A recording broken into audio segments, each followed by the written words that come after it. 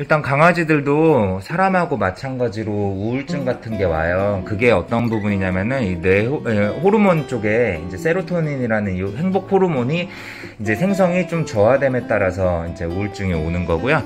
우울증의 대표적인 증상이 애들의 표정이 많이 사라져요. 그러니까 얼굴에 약간 멍한 눈빛이 든다든지 좀 뭔가 평상시와 다르게 뭔가 기력이 좀 떨어져 있는 듯한 모습을 보인다든지 아니면은 자기 발을 심하게 핥는다든지 혹은 자기 옆구리나 이런 데를 많이 핥는다든지 아니면 벽을 쳐다보고 있다든지 그리고 우울증이랑 이제 우울증이 있는 애들도 갑자기 막 흥분도가 높아지는 경우가 되게 많거든요. 그거는 왜 그러냐면 이 도파민이라는 호르몬이 과도하게 분비돼서 그런 거예요. 이 도파민이 적당하게 이제 분비 가 되는 거는 이제 즐거움을 주는 거겠지만 이제 너무 과도하게 분비되게 되면은 이 흥분 지수가 높아지고 또한 세로토닌이 떨어짐에 따라서 이 감정의 기복이 되게 커지는 거예요. 그래서 강아지들은 우울증만 오는 게 아니라 조울증이 같이 오기도 하거든요.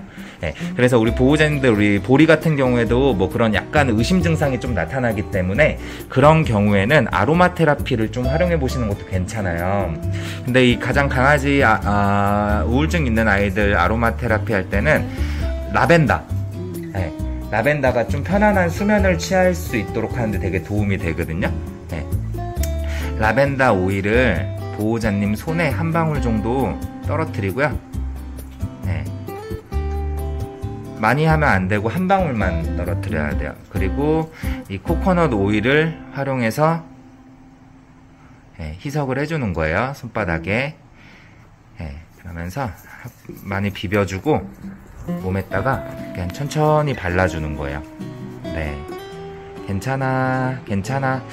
잠을 많이 못 자면은 애들이 우울증에 오기도 해요. 그러니까 왜냐면은 이 생체 리듬이 바이오 리듬이 좀 문제가 생기기 때문에 호르몬에도 문제가 되거든요. 네. 생각보다 강아지들 중에 우울증 있는 애들이 꽤 많아요. 특히나 이제 표정이 없는 애들.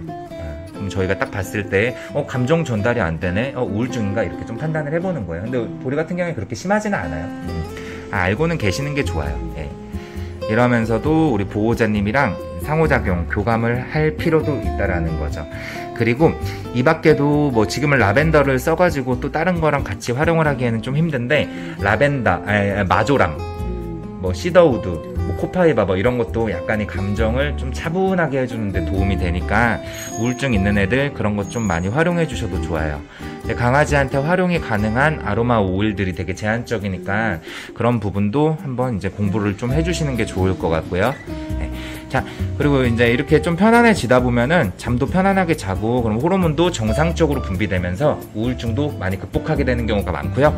또 한 가지로 우울증을 극복시키는 방법으로는 nose work. 네. 후각 활동을 많이 하면은 감정의 변화가 생기고 즐거움이 생기니까 네.